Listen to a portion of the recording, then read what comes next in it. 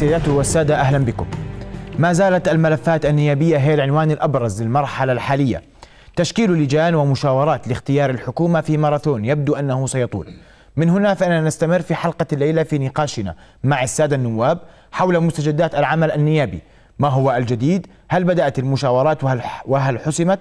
هل حسمت الكتل مواقفها أم لا؟ لمواصلة الحديث اسمحوا لنا أن نرحب بأصحاب السعادة المهندس يوسف القرنة والأستاذ علي الخلايلة والأستاذ بسام المناصير. أهلا بكم أصحاب السعادة النواب شرفتمونا الليلة. أهلا وسهلا. محمد أهلا وسهلا. آه، أبو أحمد رح أبدأ منك حقيقة. تفضل. اليوم آه، كنتم ثاني كتلة شفتوا آه، رئيس الديوان الملكي. نعم هذا صحيح. ويعني أعطيته على ما يبدو قائمة بالمواصفات والبرامج والتحديات. أسمع ماذا حدث في اللقاء منك وماذا قدمتم لرئيس الديوان الملكي ككتلة تجمع ديمقراطي شكرا أستاذ محمد. بالحقيقة آه، نحن اليوم كان لنا لقاء مع دولة آه، رئيس الديوان الملكي بالساعة الرابعة عصرا. تقدمنا آه، نحن بورقة أولى فيها مواصفات ومعايير لرئيس الحكومة القادم. نعم. وتقدمنا بورقة أخرى آه، فيها آه، شرح عن التحديات السياسية والاقتصادية والاجتماعية مع حلول لهذه التحديات من وجهة نظر كتلة التجمع الديمقراطي للإصلاح. نعم. وتحدثنا مطولا أيضا بإسهاب عندما آه، بدأ رئيس الديوان الملكي ب يعني آه، بأن جلالة الملك يرسل تحياته لنا وشرح ثوابت آه، خطاب جلالة الملك والثوابت الوطنية التي يرتؤونها الاصلاح القادم. ومن ثم تقدمنا نحن قدمت له الاوراق التي بحوزتنا.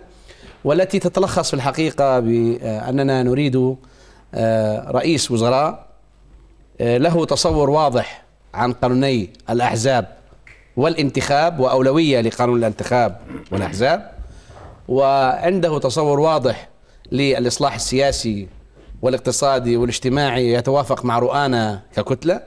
واقترحنا أيضا أن يكون هناك آه، رئيس يحمل الملف السياسي ورئيس ونائب لرئيس الوزراء يحمل الملف الاقتصادي نعم. إن كان له إن كان عنده حلول لهذه الأزمة الاقتصادية التي نعيشها أو بالعكس. ومن ثم آه، أيضا آه، طلبنا أن يكون لدى الرئيس القادم تصور لمكافحة الفساد آه، تصور عملي لمكافحة الفساد وبرنامج لذلك. تعهد منه بعدم رفع أسعار المواد الأساسية والمحروقات والكهرباء على ذوي الدخل المحدود والفقراء في بلدنا.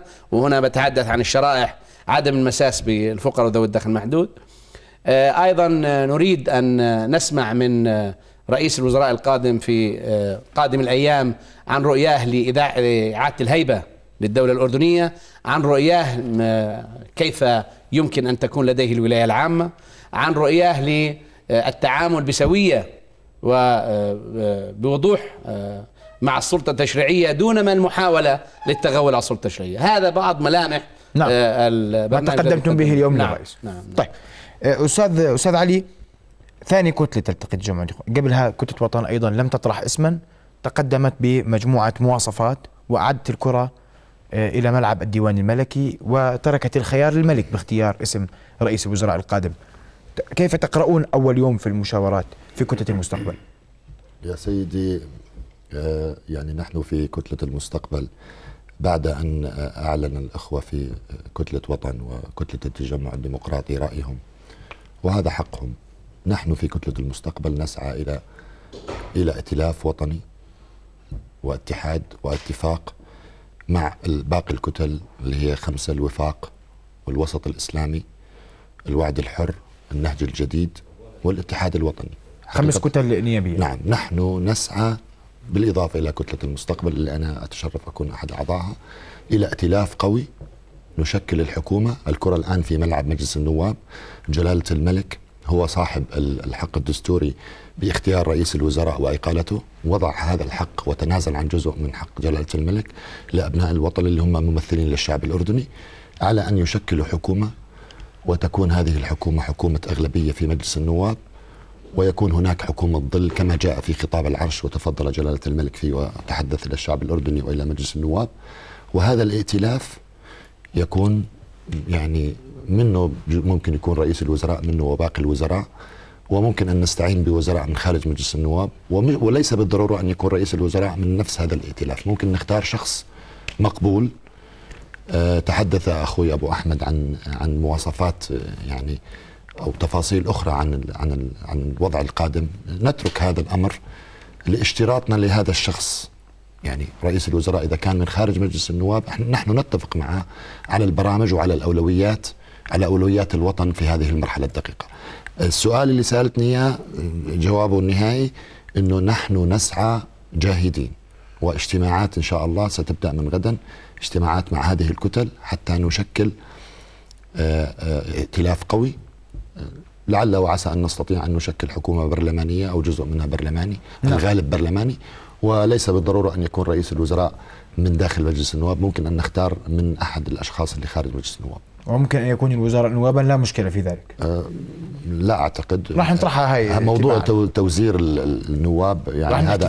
هي تجربة مرت في مجلس النواب وكانت برئاسة دولة عبد الكريم الكباريتي وأثبتت نجاعتها ورقابة النواب كانت ذاتية على أنفسهم وكانوا آه، يعني أثبتوا فعالية حسب ما أنا شرحوا لي أكثر من زميل كانوا قد شاركوا في هذه الحكومة البرلمانية. نعم طيب. أستاذ بسام رأيك في أول يوم من المشاورات النيابية مع رئيس الديوان الملكي؟ كتلتين أكبر كتلتين في المجلس التقوا رئيس الديوان الملكي يعني و... اولا أخي محمد آه، نحن في كتلة الوفاق لم نستشر بعد.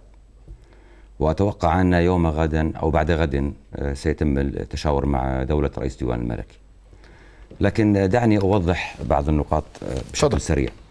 منذ أن انطلقت آه، وافتتح أعمال الدورة غير العادية للمجلس السابع عشر. ومنذ أن استمعنا إلى خطاب العرش السامي. كان هنالك حراك وورشة عمل وخليط نحل مستمرة في التشاور بين الكتل وبين النواب مشاورات لقاءات اجتماعات. آم، وأعتقد أنه تمخض عن هذا النقاش كله آه، أربع سيناريوهات. آه، السيناريو الأول في توجه عند الكثير من زملاء النواب أن تشكل الحكومة رئيسا وأعضاء من المجلس. نعم. وأعتقد أن هذه الخطوة يعني آه، سابقة لأوانها. لأنه كما تعلم ويعلم جميع الزملاء والإخوان لا توجد في المجلس حتى هذه اللحظة أحزاب فاعلة تنطلق من برا- برامج سياسية ولديها رؤية واضحة وحلول للأوضاع الاقتصادية والسياسية وما يترتب عنها من مشاكل اجتماعية. آه، الموجود الآن في المجلس هو عبارة عن كتل ودعني أكون صادق معك، الكثير من الكتل هشة وهلامية تربطها قواسم مشتركة من المصالح وليست على برامجي. السيناريو السيناريو الثاني كان عبارة عن هجين من الحكومة الحكومة من المجلس ومن خارج المجلس. بمعنى أن يكون رئيس الحكومة من خارج المجلس هذا الرئيس سيضطر إلى آه، تعيين على الأقل سبع وزراء من داخل المجلس في خطوة استرضائية من أجل الحصول على الثقة. لأن نحن لدينا أعتقد آه، أبو خالد وأبو أحمد لدينا سبع كتل. ثمان كتل عندكم. ثمان ثمان. بالحالة سيضطر الرئيس المستقلين. ب- أعتقد سيضطر الرئيس إلى وضع ثمان وزراء في وزارات غير سيادية من أجل الحصول على الثقة. تمام ال- السيناريو الثالث آه، الكثير من السادة الزملاء آه، لديهم رغبة أن توضع الأمور كلها بيد جلالة الملك وهو صاحب القرار في اختيار الرئيس والرئيس له الحق فيما بعد أن يختار الحكومة. السيناريو الأخير أن يكون أن يسمي مجلس النواب رئيس الحكومة. حقيقة أنا شخصيا وتميل كتلتي إلى سيناريو خامس وليس هذا ليس أي أحد من هذه السيناريوهات الأربعة. طيب إيش الخامس أن لا أن لا نسمي رئيس الحكومة. وأعتقد أن تسمية رئيس الحكومة سيضع المجلس الذي يتوقع منه الشارع سقفا عاليا من العطاء لأننا نعيش أزمة ثقة للأمانة، نعيش أزمة ثقة بين الشارع وبين مؤسسات الدولة وعلى رأسها مجلس النواب. وهذا ليس ذنب مجلس النواب. هذا ترى إحباط تراكمي نتيجة عمليات تزوير ونتيجة عمليات الفساد وإلى آخره. طيب. ووقوف المجلس ضعيف أمام آه، حلول عملية ومنطقية في الدورات السابقة. نحن تشاورتوا مع كتلة المستقبل في هذا الموضوع؟ لا. لم يكن هناك إعلان الاتحاد بين الكتل أو توافق الائتلاف كل بينها. كتلة الان كل كتلة حتى الآن تعطي رأيها بشكل منفرد. لكن هنالك شبه اتفاق. على أن يكون رئيس الحكومة ليس اسما من المجلس وإنما مواصفات. نحن بحاجة إلى رئيس حكومة كما تفضل الأخوان. بمواصفات واحد اثنين ثلاث. أن يحظى بتوافق ورضا من الشارع. أن لا يكون له ملف سابق سلبي وخصوصا في قضايا الفساد. أن يكون لديه رؤية وبرنامج اصلاحي اقتصادي سياسي ثقافي فكري تربوي اجتماعي على كل الصعد نحن لا نسمي شخصية. وبالتالي لن يتحمل مجلس النواب وزر إحباط أي حكومة في المستقبل من كان- يتحملها طيب؟ إذا كان المطلوب من يتحملها إذا كانت المشاورات النيابية هي نحن من سيدي نحن عندما حكومة؟ نضع المواصفات بين يدي رئيس ديوان الملكي ونقول له نحن بحاجة إلى رئيس حكومة بهذه المواصفات نحن نبرئ ذمتنا أمام الشعب وأمام الشارع وبالتالي إذا اختار إذا اختارت إذا اختار جلالة الملك رئيس حكومة بالمواصفات التي نبتغي ونريد وبالتالي بالتأكيد سيحظى برضا الشارع ومجلس النواب وسيوفق ونتعاون معه جميعا. لكن إذا كان هنالك اسم لرئيس حكومة مبيت وهذا كله لضرء الرماد في العيون فمجلس النواب يبرئ ذمته من الآن بأننا لا نسمي شخصا معين. طيب تبرئة الذمة. أستاذ علي أنت يعني في تناقض بين حديثك وحديث الأستاذ بسام خصوصا أن الكتلتين المفروض أنهم متصلتين مع بعضهم البعض وتتحدث عن ائتلاف يشكل أغلبية نيابية يسمي رئيس الحكومة ووزرائها. أستاذ علي قال سنتشاور نعم. يا سيدي بس ذكر أسماء كتل بمعنى أنه يبدو أنه في اتفاق أو, أو حديث مسبق. يعني كتلة اللي فيها الأخوي بسام من الكتل الفاعلة حقيقة. آه، بجوز يعني أنا إحنا عندنا يعني مجموعة من النواب أنا مش منهم من نفس الكتلة هاي. إحنا تركنا الأمر لهم. وبجوز بدوا بحديث بجوز ما بدوا مع الأخ بسام مع احترامي له. بهذا الموضوع اليوم بدأ هذا الحديث بعد ما إحنا عرفنا شو نتائج كان اللقاء مع آه، دولة آه، رئيس الديوان الملكي مع كتلة وطن وكتلة التجمع الديمقراطي. وهي فكرة بلورت اليوم أظني الصبح وحديث بين حديث كان اجتماعات اثنين اليوم بعد الظهر وبعد المغرب كان واحد. آه، آه، الأمور إن شاء الله إنه آه، يعني نستطيع إنه نحقق هذا هذا الائتلاف القوي من باقي الكتل لأنه أنا زي ما ذكرت لك نحن الكرة الآن في ملعب مجلس النواب.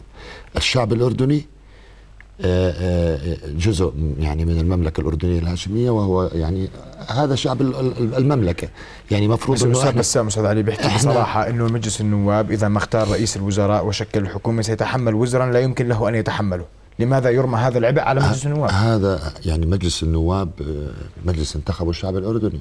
يعني إحنا المفروض نكون إحنا يعني قد هذا هذا القرار أو هذا أو الكرة اللي حطها سيدنا في ملعب مجلس النواب. وقال تفضلوا أنتم اختاروا رئيس وزراء. يعني كمان ما بيصير نضل إحنا يعني يعني نحط الكرة في ملعب الديوان الملكي واختيار جلاله الملك واختيار.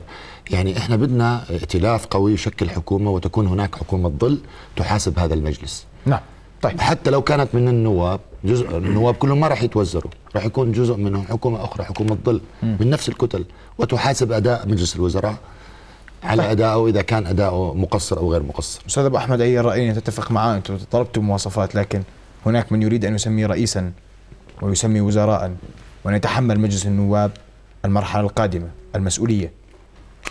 دعني أوضح مجموعة من النقاط. أولا آه، جلالة الملك لم يتنازل عن حقه الدستوري حسب المادة 35 جزء. هو منح جزءا من هذه الصلاحية لمجلس النواب وهي خطوة متقدمة من جلالة الملك نحو الحكومة البرلمانية. نعم. النقطة الثانية نحن أيضا في التجمع الديمقراطي طلبنا من رئيس الديوان الملكي من دولة رئيس الديوان الملكي لقاء آخر. جميل. لغايات؟ لغايات. قلنا له بوضوح أن هناك توجها لدنا بعمل توافقات مع الكتل الأخرى على البرنامج والمواصفات. وإن كان هناك أسماء لدى الكتل الأخرى ولدينا أسماء لنتشاور بها ويكون هناك لقاء آخر لنضوج هذه العملية. متى طلبتم اللقاء تقريبا؟ تكون أسبوع الآن 10 أيام؟ اللقاء اللقاء برنامجه الزمني كما فهمت من دولة رئيس الديوان الملكي راح يبقى حتى يوم السبت مع الكتل الأخرى. نعم.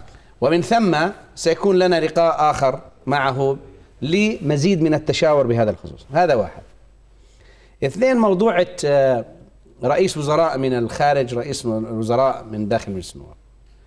أنا لا أعتقد أن ثمانية أيام أستاذ محمد هذا المجلس هذا المجلس له ثمانية أيام منعقد. بالثمانية أيام انتخب رئيسا ومكتبا دائما وانتخب لجانا بالتوافق وعقد لقاءات متكررة وعديدة للكتل وشكل كتلا وحول مشاريع قوية. وحول مشاريع. مشاريع حوالي آه، 14 زائد 7 21 مشروع. طيب. ويراد منه لا تتوقع لا يتوقع الإع- الإخوة الإعلاميين أو شعبنا الأردني إنه بأسبوع 10 أيام و15 ممكن أن تخطو خطوة ناضجة في سبيل حكومة برلمانية دون ما أخذ وقتك بذلك. ودعني أذكرك بأنه دستوريا للحكومة الحالية منذ انعقاد هذا المجلس ب 10 2 نعم. معه حتى مساء 11 3 صحيح. مع هذه الحكومة لتقديم بيان حق... لتقديم بيان وزاري. الثقة صحيح. للمجلس. وبالتالي أنا بعتقد أنه لدينا الوقت الكافي للتشاور وإنضاج العملية حتى لا يكون هناك أجندة خاصة وأنا أعتقد أعضاء مجلس النواب ليس لديهم أجندة خاصة والممارسات التي قامت بها الكتل المختلفة في هذا المجلس خلال ثمان أيام وخصوصا آه، أمس في التوافق على اللجان هي رسالة لأول مرة يعني على فكرة صحيح. للتذكير في تاريخ المجالس النيابية الأخيرة نتوافق على كل اللجان كل اللجان ال 14 لجنة خطوة غير أنانية. وبدون أنانية وبإيثار عالي. يعني مثلا أنا رشحت حالي اللجنة المالية بناء على طلب الإخوة الزملاء انسحبت وبالتالي بقيت بقي كما هو الوضع. هذا أنا بعتقد يكتب لي يكتب للإخوة النواب نعم. إن هم عندهم إيثار في سبيل إنجاح العملية البرلمانية دعني آتي لموضوع الحكومة البرلمانية. طب تسمح لي آه، نحكي في موضوع الحكومة البرلمانية لكن بعد الفاصل؟ آه تفضل. طيب إذا فاصل قصير مشاهدينا ثم نتابع ابقوا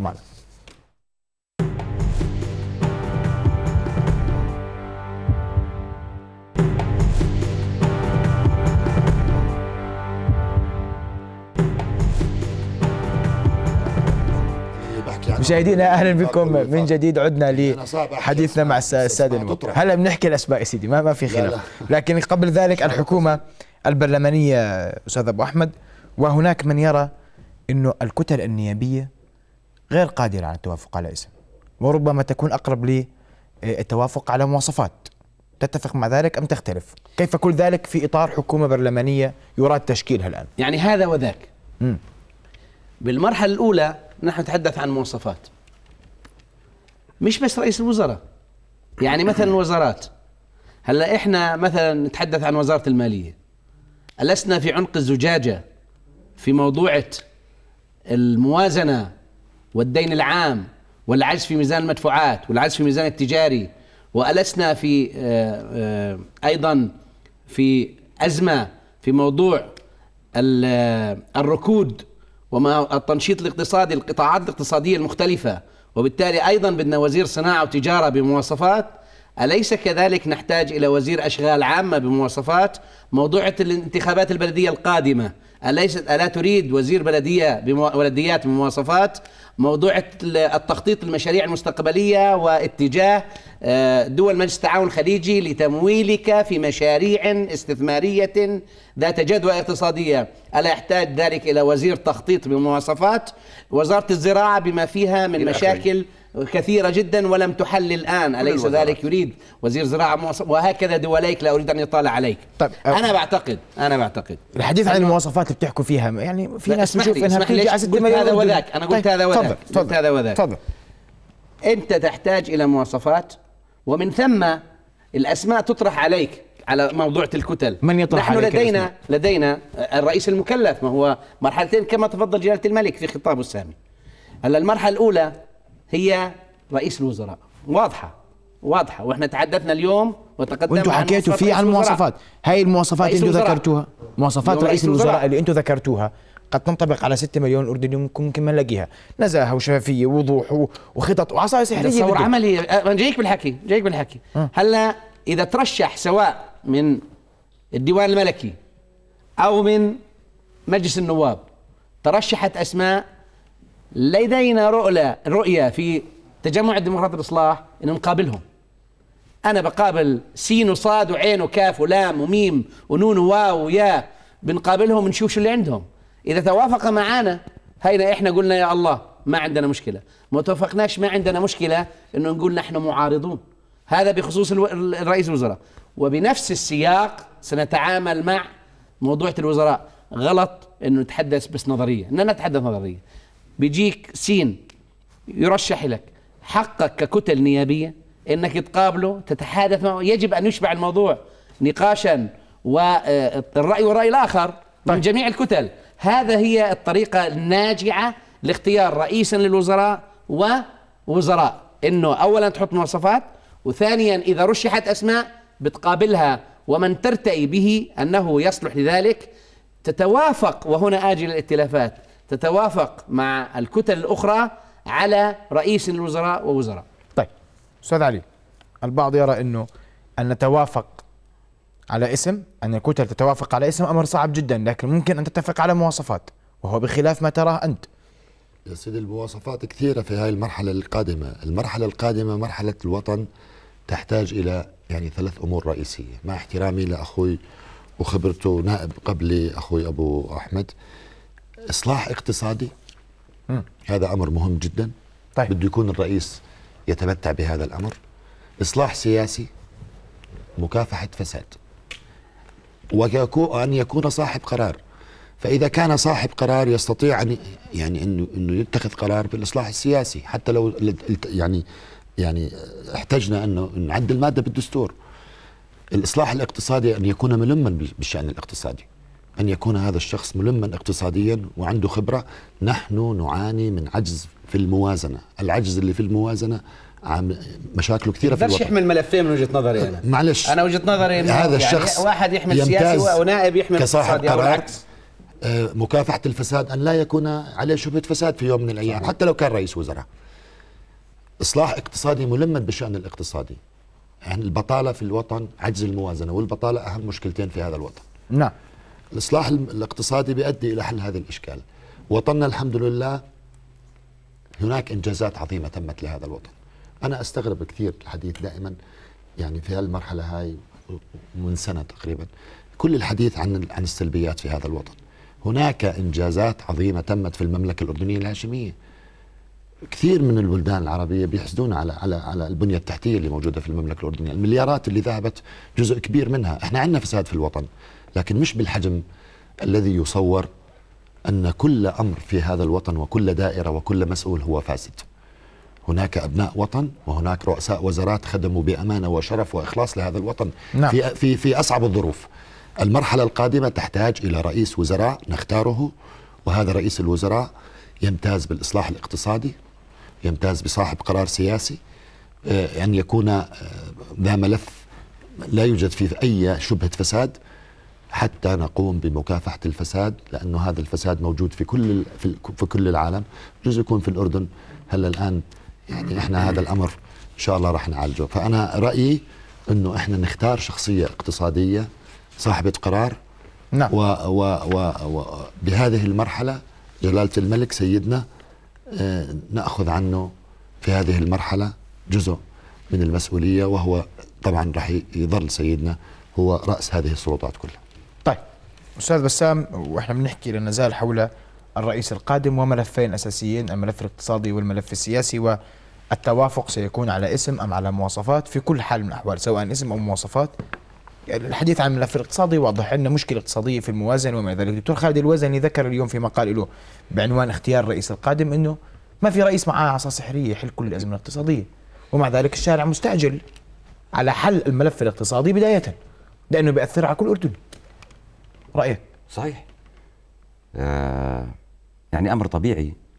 لو أنا خيرت يعني أي مواطن أردني وخيرته إنه يسمي شخص معين أو يعطيك مواصفات بالتأكيد لو سميت أنا شخص بدون مواصفات جريمة. الأفضل إنك أنت تعطي مواصفات معينة وتترك صاحب القرار يختار. يا سيدي حتى على مستوى الشرطي إذا كان ناقص سنتي ما بيقبلوه شرطي مش شخص يقود بلد. طيب هذا أمر طبيعي. حتى لو أنت عندك شركة بدك موظف بتحط بالجريدة أنا بدي إياه معه بكالوريوس بدي إياه آه، عنده خبرة كذا. هذا أمر طبيعي. يعني ننزل إعلان في الجريدة لرئيس وزراء الأردن مثلا؟ إيه؟ بننزل إعلان في الجريدة لرئيس وزراء الأردن؟ هذا يا سيدي إحنا من نتحمل مسؤوليته. هذه مسؤوليتنا. نحن نمثل الشارع الشعب. الاردن ونمثل الشعب الأردني. شكرا لجلالة الملك أنه أعطانا جزء من صلاحياته. نحن الآن أمام مسؤولية تاريخية. حتى نقرأ المشهد بطريقة أكثر وضوح. عليك أن تقرأ المناخ الذي نعيشه قبل أن ندخل في تفاصيل هذا الموضوع. نحن نعيش أزمة ثقه ونعيش احتقان في الشارع. طيب. وهنالك آه، توقعات من الناس في سقف عالي من أداء المجلس. في ظل هذه الظروف أعتقد أنه يعني آه، تسجل علينا نقطة أن نسمي شخص فلان. ماذا لو أن هذا الشخص بعد أربع شهور ست شهور ثمان شهور فشل في إدارة الحكومة. آه شو بده يصير؟ هذا يعني أننا نحن لأن هذه output و input نحن نحن فشلنا في اختيار طيب. الرئيس المناسب. لكن خليني أنا أقفز خطوه ثانية أو نقطة ثانية أهم. أنا ضد توزير النواب. وضد اختيار رئيس حكومة من مشان أعطيك مادة للسؤال. ضد اختيار ضد اختيار رئيس الحكومة من مجلس النواب. برضو أنتم أستاذ في هذا الم... بس اسمح لي معلش دقيقة اسمح لي برضو في هذا السياق يعني ثلاثتكم عم تتفقوا على إنه إحنا بدناش مثلا أو, أو أنت والأستاذ أبو أحمد متفقين على عدم اختيار اسم الرئيس عدم التنسيب باسم رئيس صحيح. وعندما يتم طرح اسم رئيس نلتقي ونتحدث صحيح معه طبعا نقيمه. صحيح ذلك لا يعفيكم. من مسؤوليتكم أنتم من أنتم من اخترتم المواصفات وإذا شكراً. قابلتم آه الشخص وكان ضمن لكن مواصفاتكم هل يتم تعود الكره ضمن لملعبكم مواصفاتنا؟ هل تم اختياره ضمن المواصفات التي وضعناها؟ يعني أنتم تم- تحملون المسؤولية مرة أخرى ترمون الكرة في ملعب الملك وفي ملعب الديوان الملكي هلا اسمح لي بس. لا لا معلش أكمل ملاحظتي كمل. من أراد أن يحملنا المسؤولية وأن يضع الكرة في ملعبنا في هذه المرحلة نحن أمام الشارع الأردني نقول نحن لا نتحمل وزر فشل الحكومة القادمة إذا لم يتم اختيار رئيس الحكومة بناء على المواصفات التي يضعها النواب باختصار شديد. أنتوا يا سيدي أنتوا أنتوا ما بتحملوا فشل أنتوا معلش. عندكم مسؤولية تشريع ورقابة لكن أيضا اسمع. دقيقة اسمحوا لي دقيقة. تفضل أستاذ علي وراح سيدي. راح أجيك أبو أحمد. يا سيدي أحترم أخوي أبو محمد وما طرحه. نحن نختار. نحن ممثلي الشعب وصاحب القرار عليه أن يتخذ قرار فأما يصيب وأما يخطئ. وإذا قصر أو هذا رئيس الوزراء اللي مختاره مجلس النواب جلالة الملك كان واضح. سيفقد ثقة مجلس النواب وسنختار ما تملكون صلاحيه طرح الثقة في في طبعا. الحكومة أياً هذا. شيء دستوريا موجود. سنسحب هذه الثقة من رئيس هذا الوزراء ون- ونأتي برئيس وزراء ممكن لكن إحنا بدنا يعني زي ما بيقولوا بدنا نتوكل على الله ونختار هل اللي قريب لهالمواصفات اللي اللي أنت مختار طيب؟ اللي مطلوبة. والله أنا يعني أنا على أنا لو ما مش حاب أطرح أسماء يعني هناك رجالات في, في الوطن وأنا مع أن يكون رئيس وزراء سابق لأنه هذا البلد فيها مثل مين مثلا؟ خبرة أعطيني مثال يعني بدك يعني بدي أحشرك. بدك تحشرني وتقول لي يعني بدي أقول لك مثلا عبد الكريم الكبريتي شو ماله؟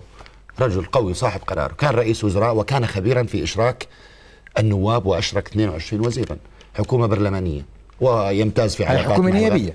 نعم حكومة نيابية وكان من المجلس النواب ويمتاز بعلاقات مع الغرب ومع الخليج واقتصادي وصاحب قرار. عبد الرؤوف الروابده، دولة الرئيس اللي موجود عبد الله نصور، رجل صاحب قرار ويفهم مسالب ومسارك الدولة و وكل حيثيات ورجل يعني معروف طيب. وقام بسياسة أنا أعتقد سياسة اقتصادية حصيفه اللي قام فيها وبجوز تكون ما أرضت كثير من الناس من المواطنين طيب كلام جميل آه. طيب أستاذ أبو أحمد وعندك ثلاث أسماء هلا كمان عشان ترد عليها اولا عندك الدكتور بدي عبد الله منصور على موضوع. بدي اعلق. على موضوع تفضل.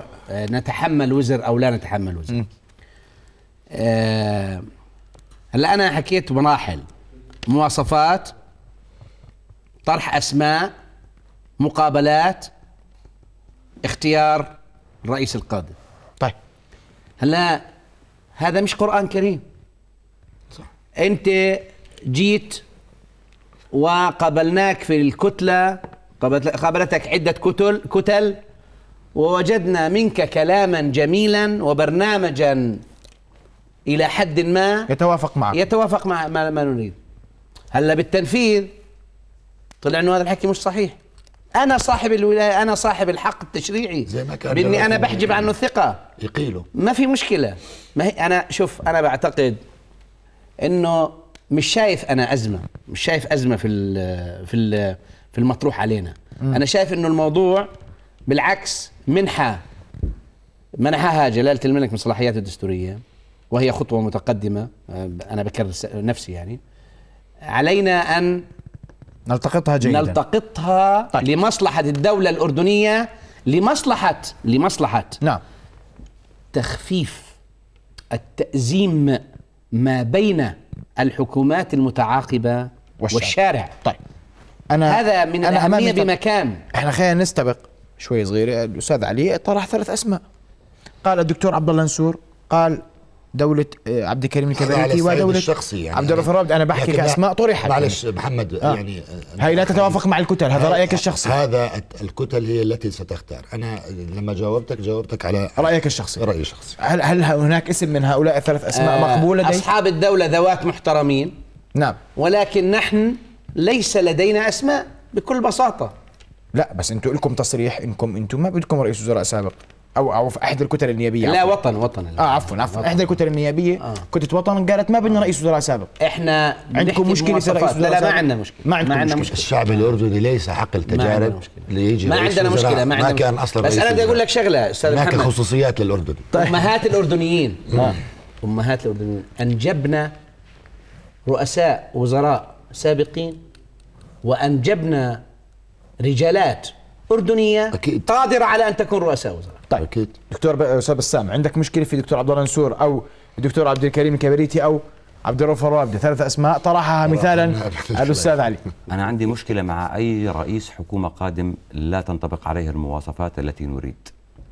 هذول الثلاث أسماء في عندك مشكلة معهم؟ وجوابي واضح. نحن ضد أي شخص لا تنطبق عليه المواصفات يعني إذا كان رئيس في واحد الحكومة منهم القادم. ضمن المواصفات ما عنده آه مشكلة. بس تسمح لي أعقب لأنه أنا شايف إنه الأسئلة على قد الحجم أنا يطلع لي قلوح. لا. أول أول مرة أنت أكثر واحد ولا أول مرة أنت حبيبي. أكثر واحد حكي أخويا أبو أحمد قبل شوية صحيح بأنه رأي النواب ليس كلاما منزلا لكن هذا مصير بلد. ونحن على مفترق طرق أمامنا خيارين. إما أن نحمل الأمان بمسؤولية ونخرج ببلدنا إلى بر الأمان وإلا فلنحزم أمتعتنا إذا سمحوا لنا وإلى مخيم كمخيم الزعتر. ما عندنا خيار ثالث. لا سمح الله. لا سمح الله. هذا مصير بلد وهذا مصير شعب. نحن لسنا في منأى عما يجري حولنا. شئنا أم أبينا. هذا موجود. وكل الذين يطالبون بالإصلاح ليسوا خون أبو ظلام إطلاقاً. يخونهم أحد بالتأكيد. إطلاقا. نعم. ويجب أن يكافئوا لا يجب أن يسجنوا. يجب أن يكافئوا لأن الذي يتحمل ينزل إلى الشارع ويتحمل المسؤولية ويطالب بالإصلاح ضمن ما يحدده القانون هذا شخص يطالب يضحي من أجل الآخرين. أنا أقول مرة أخرى أن خياراتنا محدودة. إما أن نأخذ بلدنا إلى بر الأمان وهذا أمل الملك فينا وأمل الشعب فينا وبالتالي يجب أن يكون بداية الاختيار لرئيس الحكومة هو أول خطوة على هذا الطريق. وإما لا سمح الله أن تجنح الباخرة ولا تحمد العواقب. واضحة جدا. راح أجي لبعض ال- الصعوبات في تشكيل الحكومة القادمة تحديدا الديموغرافيا وحكينا ممكن فيها الفصل في الفاصل السابق لكن بعد فاصل قصير مشاهدينا ابقوا معنا.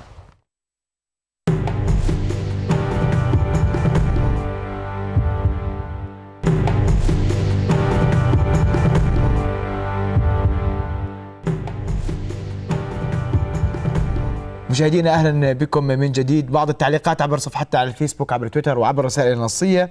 عماد بيقول مطلوب مطلوب رئيس وزراء أردني غير مستعمل يعمل على الطاقة النووية للجادين فقط. الاتصال بدوله الدكتور فايز الطراوني وهي طلعت ممكن نكت كثير آخر فترة. آه، أحمد يقول جيدة نوعا ما إبراهيم. آه، آه، الله يستر. وعبد الله بقول أنا أرى أن هناك فكرة رائعة وإن شاء الله تكون في مصلحة الوطن والمواطن سويا وحمى الله وطننا الغالي. عامر هل يوجد ثقة, من الشعب بالمجلس من أصله عشان يصير في ثقة في اللجان؟ آه، بهاء يقول ما في أي عضو باللجان مؤهل للمساهمة بتشكيل حكومة. آه، شيء محزن لأن الأمور لا تبعث على التفاؤل هذا عمر هكذا يقول. نادر عبر الرسائل النصية يقول أول تنازل من كتلة التجمع الديمقراطي وهنا حديث عنك آه، أستاذ أبو أحمد عندما أعلنوا عدم آه، ذهابهم إلى الديوان وذهبوا. شو السيرة؟ آه، آه، أرجو التوضيح. لا في تصحيح. هاي راح أنا راح راح اترك مجال توضح علي خلف آه، هل تم توزيع المهام على اللجان؟ وهل عرف كل نائب ما هي مهمته؟ أم ستعود الاعتصامات من جديد لقلة اهتمام؟ النواب كمال يقول بتمنى نشوف وزارة شبابية ووجوه جديدة والتركيز يكون فيها على الكفاءات. ضعوا الأردن في قلوبكم يا نواب علي خلف يقول إرناد المجالي عبر تويتر تقول طيب آه، بعد المواصفات من هي الأسماء المرشحة؟ هل ممكن أن يكون مع علي عبد الله نسور؟ المطلوب اختيار أحد شرفاء الوطن الحريصين عليه وهم كثر. محمد الطوافشي أتمنى أن ينتج ينتج آه، عنها ما هو في صالح آه، المواطن. وأبو صالح الشعب الأردني أوعى من أي مسرحيات وخطط لوجستية. والعديد من التعليقات يعني آه، اعذروني لا يسعنا الوقت لقراءة كافة التعليقات اللي تردنا حقيقة. أبو أحمد في توضيح بالنسبة يعني اوضح على موضوع آه، التنازلات. نحن لم نتنازل. ولا؟ اللي حصل إنه آه، جرى توضيح لنا بإنه جلالة ال- إحنا كنا نظن أن الدعوة من رئيس الديوان الملكي. طيب. وتبين فيما بعد أن هناك دعوة من جلالة الملك للنواب لاستضافتهم في قصر بسمان العامر. هلا استضافة جلالة الملك غير لما يكون دعوة من رئيس الديوان الملكي تكليف منه لإستضافة النواب. هذا واحد. اثنين لم نذهب ككتلة. أرسلنا وفدا ذهبنا كوفد من الكتلة لم تذهب الكتلة كلها وهذا يعتبر واضح أنه ليس بتنازل. لا تعتبره تنازلا ابدا. لكن أنتم حكيتوا في البداية إنه إذا في مشاورات فالمشاورات يجب, يجب أن تكون في مجلس الشعب. مزبوط طيب. مزبوط بس لما يكون في تصريح من جلالة الملك إنه بيستضيفنا في بيت الأردنيين بدنا نست... بدنا نقبل الاستضافة. ما كنتوا شايفين التصريح قبل ما تحكوا لا إنه- التصريح كان إحنا كنا على جلال على خطاب جلالة الملك السامي الخطاب خطاب العرش. السامي الخطاب العرش في مجلس النواب إنه ما حدد المكان. ومحادثه رئيس ديوان الملكي إلي بأنه هو يدعونا إلى قصر آه، بسمان العامر. نعم. ولكن أحد ال- أعضاء الكتلة في الحقيقة أحضر لنا في نفس الليلة عملنا اجتماع طارئ وتبين أن هناك دعوة باليوم الذي يليه من جلالة الملك للاستضافه في قصر بسمان العامر. لذلك آه، قبلتم بالاستضافة لكن أنا عندي كمان سؤال. آه، عندما نريد أن نختار حكومة برلمانية كونك أنت أجبت على سؤال ال- ال- الم- الأخ وأنا نسيت اسمه صراحة آه، اللي سالك عن التنازل نادر برقان. السؤال الآن الحكومة الأردنية القادمة نريد تشكيلها حكومة برلمانية ذات كفاءات. طبعا. هناك مسؤولية ديموغرافية دائما في تشكيل الحكومات. كان عندنا حسبة. كان عندنا حسبة معينة بناء عليها نشكل حكومة. والله شوف هل تنتهي هذه الحسبة اليوم؟ شوف- عشان إحنا بدنا نشكل حكومة آه، مثلا كفاءات. شوف يعني أنا مش مع التقسيمات يعني إحنا كلنا شعب أردني واحد. بس كل ال آه، أجزاء ومكونات الشعب الأردني عندها كفاءات طيب. يعني ما شايف أنا ولا مكون من مكونات الشعب الأردني من شتى المنابت والأصول. نعم. ما عنده كفاءات. فإذا مزجت الديموغرافيا مع الكفاءات تجد الكفاءات الكثيرة. أنت شايف ضرورة لهذا المزج لا ضرورة. أنا أسلفت أني قلت أنا إنه مش مع هذه الطريقة. ولكن لا ضير في ذلك إن كانت الكفاءات موجودة في هذه الديموغرافيا. أستاذ علي هيو يعني موافق وغير موافق؟ موضوع الديموغرافيا تتفق ولا تتفق؟ شوف موضوع الديموغرافيا أنا مع موضوع الديموغرافيا بالفترة اللي مضت. أما مستقبلا عندما يكون هناك أحزاب قوية ويكون هناك خليط وتداخل من من كافة أبناء الشعب الأردني ضمن هذه الأحزاب الوطنية آه، التمثيل الديموغرافي بدنا نحط عليه يعني خلينا نحط عليه حجر لكن إذا كانت الحكومات تشكل أو ستشكل على النهج السابق فأنا مع التمثيل الديموغرافي العادل. العادل في يعني نهج- النهج. هلا هلا الآن احزاب ما في أحزاب قوية عندنا عندما تشكل وهذا المسعى اللي ال- يعني إحنا بنسعى له إن شاء الله وتحدث عنه جلالة الملك أن يكون هناك أحزاب قوية فعالة في الأردن ستذوب الإقليمية والمناطقية ضمن هذه الأحزاب. الحكومة القادمة حكومة ديموغرافية أم حكومة كفاءات؟ سي- سيؤخذ بالاعتبار آه، تأكيد الديموغرافيا فيها. لابد. أكيد. وترى واجبا. لا. يمكن التنازل عنه ابدا. ن- نعم. طيب أستاذ بسام أي سؤال منهم بدك أجاوب؟ والله اثنين عندك. جبين. ليش؟ اولا أنا ضد المحاصصة آه طيب. الديموغرافية. جميل. الأساس في الموضوع هو الكفاءة. أخي العزيز المحاصصة الديموغرافية أوصلتنا إلى نقطة سلبية جدا في التعامل الآن آه، أصبح المسؤول يستقوي بالعشيرة وبالديموغرافيا على الدولة تتخيل أنه لما مجلس النواب توضيح بعدين لما طيب. مجلس النواب الذي من واجبه محاسبة الفاسدين عندما يحاول أن يحاسب فاسد يستقوي بعشيرته على الدولة على مؤسسته هو نفسه اللي. اللي بيخدم فيها وهذا ما أوصلنا إليه المحاصصة الديمغرافية. أنا مع اختيار الكفاءة. هذا الشق الأول. سؤالك الثاني إيش أخ محمد؟ أنا ما- في ذات السؤال أنا سألت عن موضوع. فقط. تجاوبت ال- ال- ال- ال- الديموغرافيا في تشكيل الحكومة الحكومة القادمة واضح تماما أنت تريد حكومة كفاءات بعيدة كليا عن المحاصصة لا علاقة للمحاصصة إطلاقاً. بتشكيل حكومة قادمة. لديك توضيح لديك توضيح توضيح. تفضل. التوضيح اللي بدي أحكيه أخوي أبو محمد إنه أنا لا أعتقد إنه في عشيرة أو في جهة في الوطن لا يوجد فيها كفاءة.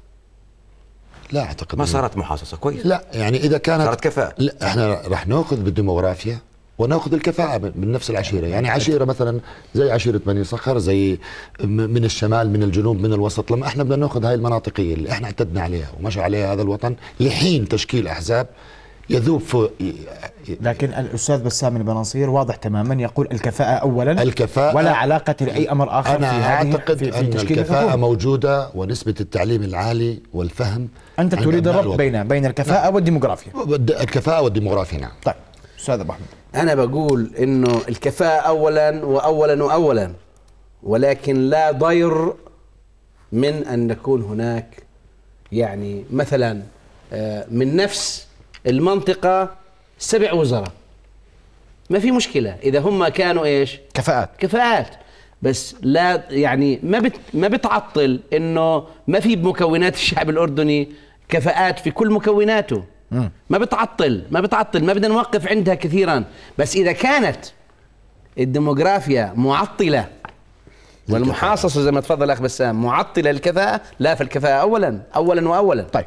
بس يا أخي محمد معلش تفضل. تفضل لأنه أنا محمد. ما أعطيت ملاحظة عليها. تفضل يا محمد يعني أنا أمامي مثالين مم. كدول تفضل. لبنان والعراق تمام انظر إلى ما آلت إليه الأمور في العراق عندما استبدلت الكفاءة بالمحاصصة سواء كانت جغرافية طائفية أثنية أيديولوجية عقائدية انظر إلى لبنان في حالة شلل. في ح... نتيجة المحاصصة نحن بلد واحد.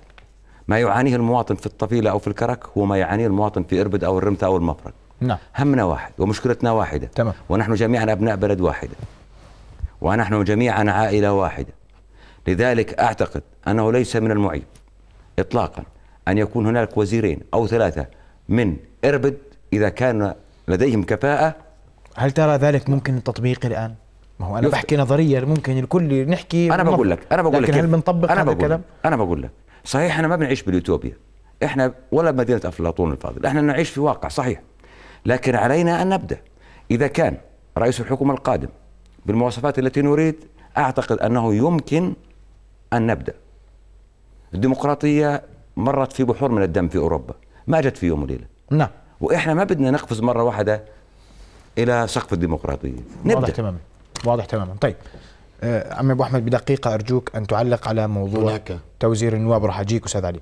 توزير النواب. توافق؟ لا توافق. إذا كنت توافق لماذا؟ وإذا كنت لا توافق لماذا؟ بدقيقة. شوف آه، توزير النواب آه، يعني بس عشان توزير النواب أنا مش موافق عليها. طيب. بس يعني إذا كان في سياق حكومة برلمانية هي نيابية مش برلمانية مو كمان مرة بنأكد. الحكومة البرلمانيه حكومة أحزاب. حزب يحصل على أغلبية. حكومة نيابية أحسنت. طيب. إذا كان في سياق حكومة نيابية توافقت عليها جميع الكتل فلا بأس من ذلك. لا بأس من ذلك. لا تراه مشكلة أو عقبة في. في الحك... أمام الحكومة القادمة. لا ليس عقبة. أستاذ علي. توزير النواب هذا تم وهذا كان نهج. كنا نتبعه من يعني فترة. انقطعنا عنه. وصار النواب الوزراء من خارج النواب. هذا أمر طبيعي وهي رقابة ذاتية. النائب عندما يكون وزيرا يكون رقيبا على نفسه واللي انتخبوه هم بيكونوا بيحاسبوه. وهي تجربة سمعتها من زملائي اللي كانوا وزراء نواب إنه كانت هناك رقابة فعالة وكانت تجربة ناجحة. فما ما في مشكلة. مش شرط يكونوا كلهم النواب وزراء. يعني المجلس الوزراء 150 كله. لا لا أنا ما بقول عن عدد النواب بقول إنه يعني مجلس الوزراء ما ما يكون يكون يعني لو كان مثلا منه م- آه، 70% 50% ويكون في منه برا يعني تنقراط يكون في منه خبراء فلا ما لا مشكلة في ذلك مشكلة ترى. في ذلك نعم وأنت تتفق وتتجه نحوها أكثر من أن لا يكون هناك نواب وزراء أكيد تتفق معها أكثر. مرفوضة رفضا قاطعا توزير النواب آه. شوف يا سيدي إحنا لم ننضج بعد إلى مرحلة إنه في أحزاب فاعلة كنا هيك. يؤخذ. أنا بحكي على الحالة الديمقراطية بالمرحلة الحالية. أنا مع فصل السلطات فصلا واضحا مع مع تعاون السلطات وهذا أمر طبيعي. نعم. لكن يكون هناك حدود واضحة. تتخيل عندما يجمع مجلس النواب السلطتين التشريعية والتنفيذية. هذا تغول. أعتقد أننا في هذه المرحلة سنفشل. انت قلق من من الفشل وقلق من أي طبعا. آه، شيء قد على أن نكون حذرين. أنا. أنا قلت لك ما عندنا إلا خيارين. نعم. لذلك يجب أن نكون حذرين, حذرين جدا. ما في منطقة رمادية بالنص. نعم. طيب. أنا يعني انتهى وقت البرنامج. اشكركم كل الشكر ضيوف مش الكرام. معقول صار يعني لا. أنت بدك تدخل. ما فيش overtime أشكركم كل الشكر ضيوف الكرام. شرفتموني. آه، مشاهدينا إلى هنا وصلنا نهايه حلقة الليلة. أعتذر من كل التعليقات حقيقة لوردتنا ولم أستطع قراءتها. لقاؤكم يتجدد بنا غدا في نفس الموعد. أجمل تحية تصبحون على ألف خير. شكرا جزيلا لكم شرفتوني. شكرا شكرا, شكرا.